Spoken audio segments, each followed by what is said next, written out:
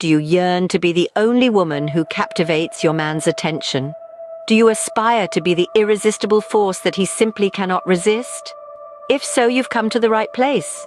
Contrary to popular belief, the allure that hooks men has little to do with physical appearance.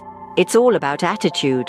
Once you master the art of projecting the right mindset, not only will you capture his undivided attention, but he'll be like an infatuated puppy, never leaving your side. Here's what you need to do. First, cultivate an air of mystery. Have you ever been on a date where you felt emotionally drained? Or one where you felt like you knew every minute detail about the man sitting across from you? If so, your desire to see him again was likely non-existent. The same principle applies to men. If you dominate the conversation, revealing everything from your childhood dreams to your deepest secrets, he won't feel compelled to call you back. Instead of pouring out your soul, hold back some information. Keep him intrigued.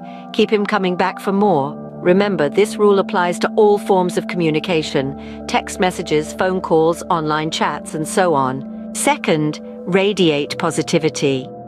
Emotions are highly contagious. If you're constantly pessimistic or wallowing in self pity, your date will pick up on these vibes.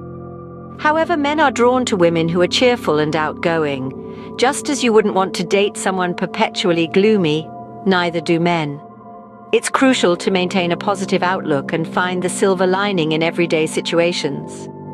Once your man realizes you're the one who keeps him smiling, he'll be hopelessly devoted to you. Lastly, be a little hard to get. This tactic has sparked debates over the years, but trust me, it works.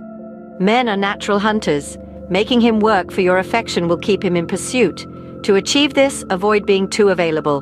Don't drop everything at his beck and call. Set standards for yourself when it comes to making plans with him.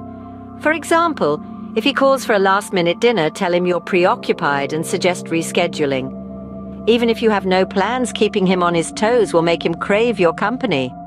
Remember, don't always be the one initiating contact. If you're always texting or calling, it takes away from his chase. Let him be the one to woo you. So there you have it.